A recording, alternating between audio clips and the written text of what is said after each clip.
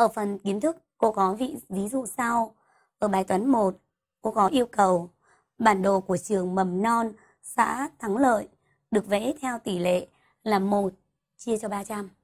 Như vậy, đây chính là trường mầm non của xã Thắng Lợi. Trong ngôi trường này thì người ta có một vẽ cái cổng của trường là 2 cm trên bản đồ. Vậy trên bản đồ, các con thấy rõ ràng cổng trường rộng 2 cm. Đó chính là khoảng cách từ A đến B, tức là từ A đến B. Khoảng cách này chính là 2 cm.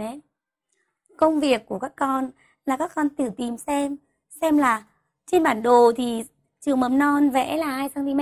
Vậy ngoài thực tế thì cái cổng trường này rộng bao nhiêu? Để tìm được kết quả, chúng mình chỉ cần lấy như sau.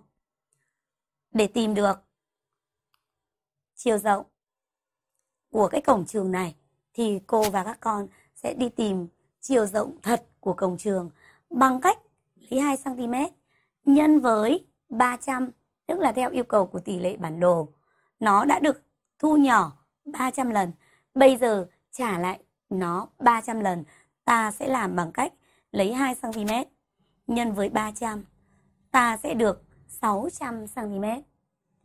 Từ 600 cm, chúng ta sẽ đổi thành 6 mét. Các con sẽ đổi như sau.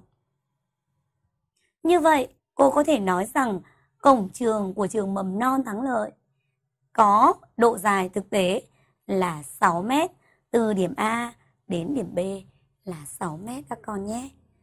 Đáp số là 6 mét. Vậy với bài này cũng giống như ở tiết trước, đúng chúng ta lấy tỷ lệ được thu nhỏ nhân với tỷ lệ bản đồ theo yêu cầu có tỷ lệ là 300 lần. Vì vậy, ta lấy độ dài thu nhỏ nhân với 300 lần, ta được độ dài thực tế